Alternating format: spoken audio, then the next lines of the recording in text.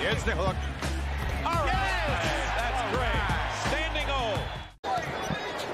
Now corner three is on the way, around and out, and hustling for it is Beverley.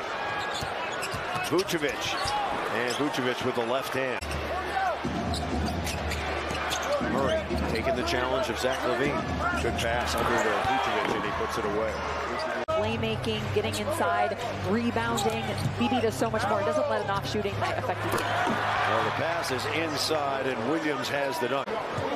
With Vucevic, the starters back in quickly for the Chicago Bulls. Vuce, three-pointer good.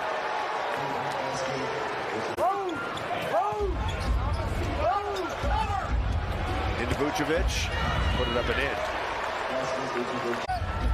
Nuggets doing a pretty good job on him. Beverley to Vooch. And Vooch puts it away. DeRozan. Vucevic way out. Knocks it in.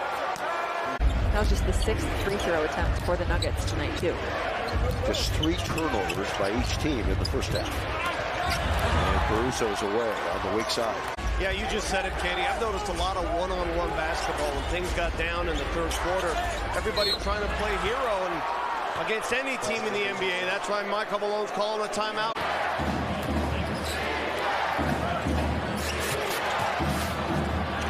Vucevic drops it home. He's having a good game. That was such a good cut.